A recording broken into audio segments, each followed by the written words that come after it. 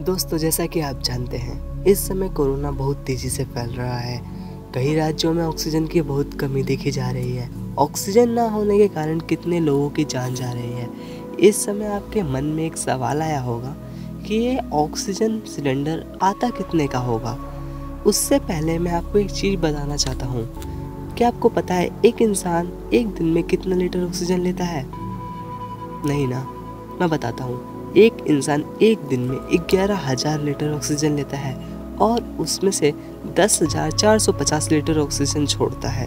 और जो बचा 550 लीटर ऑक्सीजन है, वो सही मायने में हमारे शरीर में इस्तेमाल होता है। तो हाँ दोस्तों, जितना ऑक्सीजन हम लेते हैं, वो पूरा ऑक्सीजन इस्तेमाल नहीं होता।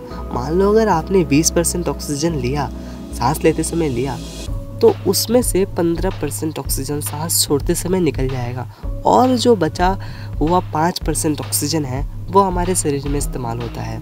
यानी सही मायने में हम पूरे का पाँच परसेंट ऑक्सीजन ही लेते हैं। तो अब मैं आपको बताता हूँ कि ऑक्सीजन सिलेंडर कितने का आता है। तो दोस्तों, ऑक्सीजन सिलेंडर का जो एवरेज कॉस्ट है, वो तेईस सौ तिरसठ रुपये लीटर के आसपास है। यानी एक लीटर आपको तेईस सौ तिरसठ का पड़ेगा। इस हिसाब से हम देखें तो हम डेली तेरह लाख रुपए का ऑक्सीजन लेते हैं। क्योंकि हम एक दिन में 550 लीटर ऑक्सीजन कंज्यूम कर रहे हैं, जैसा कि मैंने आपको पहले ही बताया।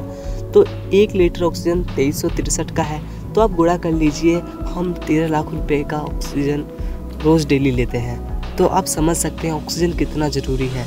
बिना ऑक्सीजन के तो हम अपने अस्तित्व को सोच ही नहीं सकते और हमारे अपने वातावरण को भी।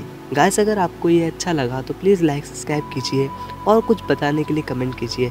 इसे शेयर कीजिए कि और लोग भी इसे जान पाए। थैंक यू गाइस मैं अगली वीडियो में।